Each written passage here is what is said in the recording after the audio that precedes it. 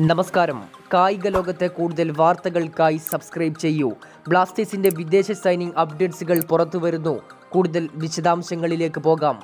Times of ഇന്ത്യയുടെ journalist Marcus മെർഗലോടെ ഏറ്റവും പുതിയ റിപ്പോർട്ട് പ്രകാരം വിദേശ താരം കേരള ബ്ലാസ്റ്റേഴ്സ് എഫ് സിയുമായി ഇപ്പോൾ കരാർ അംഗീകരിച്ചിരിക്കുകയാണ്. നമുക്ക് അദ്ദേഹത്തിന്റെ ട്വീറ്റിലേക്കൊന്ന് പോകാം.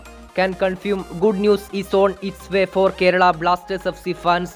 Should be a done deal within the next ഇരുപത്തിനാല് hours. No signature yet but deal agreed എന്നും ഇപ്പോൾ മാർക്കസ് മൊർഗുലോ ട്വീറ്റ് ചെയ്യുന്നു. അദ്ദേഹം റിപ്പോർട്ടിൽ കൃത്യമായി പറയുന്നുണ്ട് ബ്ലാസ്റ്റേഴ്സ് ആരാധകർക്ക് ഒരു സന്തോഷ വാർത്ത വന്നുകൊണ്ടിരിക്കുകയാണ്.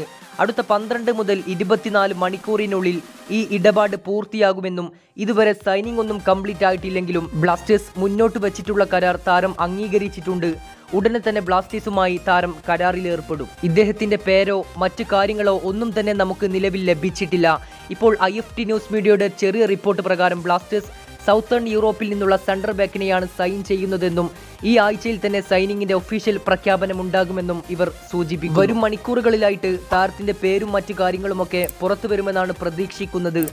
ഏതായാലും നമുക്ക് കാത്തിരിക്കാം. കൂടുതൽ കായിക വാർത്തകളും വിശേഷങ്ങളുമായി വീണ്ടും എത്താം.